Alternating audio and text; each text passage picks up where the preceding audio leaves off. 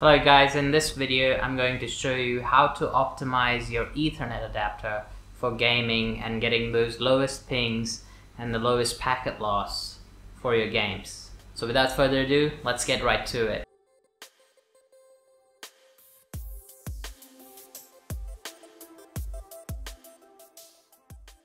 The first step, you need to right click your start menu and go to network connections click on change adapter options. Might be slightly different depending on your OS and the version. And find your LAN adapter. Usually that shows an icon like this. Wi-Fi is shown like this. Mine is a Realtek one. I right click properties and then click on configure.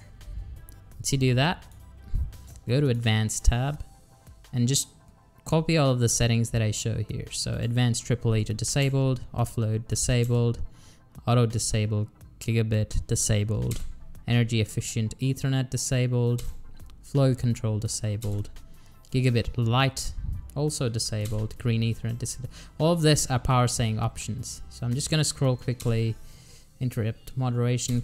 Basically you're turning off everything that you don't need. Jumbo frame disabled, large offload disabled. Uh, this leave it to the maximum available. So we got four network address can have can be the default. NS offload well, should be disabled. Power saving disabled. Priority and VLAN also disabled. Receive buffers these are the maximum supported by my card. Depending on yours this might value might be able to be set higher than what it is. Receive side scaling disabled.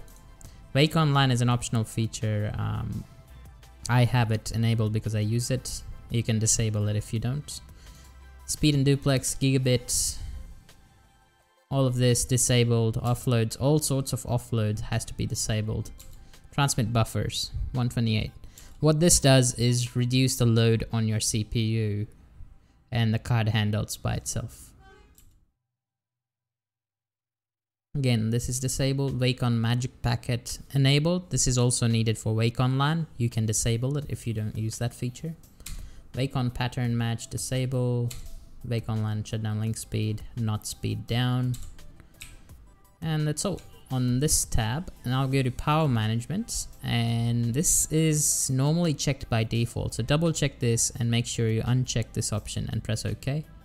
Once you do that your adapter will disable and enable itself and you'll have good solid ethernet connection for gaming so that's pretty much it guys. Thanks again for watching. Don't forget to like, subscribe, and check out my other videos up here. And I'll see you guys in the next one.